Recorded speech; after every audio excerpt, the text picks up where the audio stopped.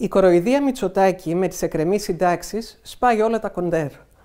Αφού απέτυχε στις υποσχέσεις για σύνταξη σε μία μέρα, αφού εκτόκωσευσε πάλι στις 340.000 τις εκκρεμείς συντάξεις, αφού έβαλε ιδιώτες στον ΕΦΚΑ και τον γέμισε με γαλάζια Golden Boys, αφού συκοφάντησε τους εργαζόμενους του ΕΦΚΑ, τώρα επί της ουσίας ομολογεί ξανά την αδιανόητη ανικανότητα της κυβέρνησής του ρίχνει τον μπαλάκι στους συνταξιούχους για συντάξεις self-service, χωρίς καμία εξασφάλιση ότι θα λαμβάνουν τη σωστή σύνταξη και ότι δεν θα τους ζητηθούν στο μέλλον αναδρομικές επιστροφές.